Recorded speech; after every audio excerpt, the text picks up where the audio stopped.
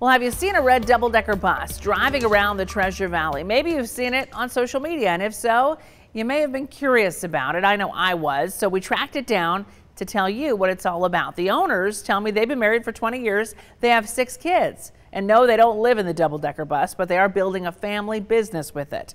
Take a look. Dustin and Angie Mori. We have Double Decker Espresso on Instagram.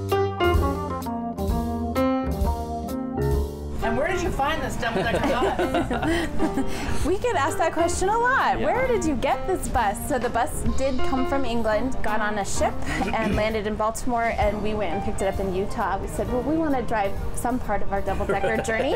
So that was a journey. We made it and then um, started the flipping process, and then we opened the day after Christmas um, last year and have been learning ever since.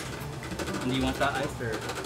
People are just excited to be on the bus, which is makes it even more fun because um, people are, see the double decker bus and they just want to come in and not grumpy. You know, usually yeah. we're dealing with happy, you know, curious people grumpy. all the time, which is really fun. Yeah, from the little kids to the big kids, really, yeah. it's pretty universal. That it's a fun, um, fun thing. A lot of people, I've never been on one. I've always wanted to. We said we hadn't either until yeah. we bought one.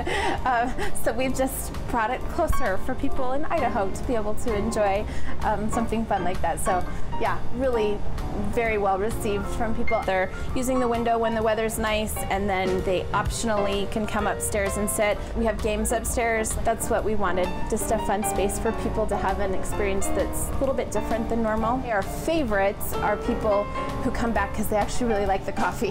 this is the guy that cares a lot about actually having a good product. Um, we have quite the name going for our cinnamon rolls. Our only two negative comments we've had are people who were mad we were out of cinnamon rolls when they came to the bus. We are having a good time with Instagram. Yeah, that was um, new to us. I took an Instagram class um, when we first got the bus. It's like, I think we're gonna need to know how to use Instagram. Boise is great. They have a very fun space for food trucks to be. We hopefully will have another bus um, within the next few years, and I'm not sure it will be a coffee bus. It'll probably be more of a food bus. Such a fun family, and it is a family business. They all work the double decker espresso bus. It's not something you see in Idaho, but now it's here thanks to them. To find out where the double decker espresso bus will be from day to day, you can check out their Instagram and their Facebook page. They put a schedule on their weekly. Just search for double decker espresso bus.